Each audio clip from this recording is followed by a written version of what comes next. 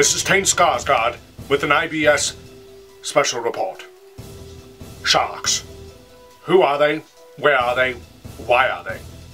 Luckily, we have a man here who knows. Please, tell us your name.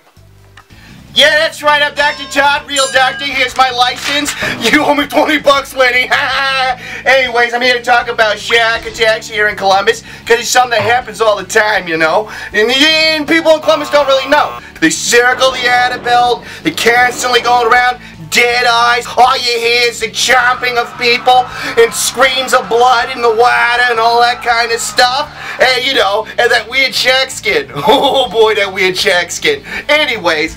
What I recommend is uh, is to stay away from the shacks. They they will attack your family and your kids. You go out to suck a smoke, they're out there. It's it's wicked. It's wicked awesome. But seriously, kids, stay away from sharks. There's also this other shack attack for this uh, woman named uh, named Menzies.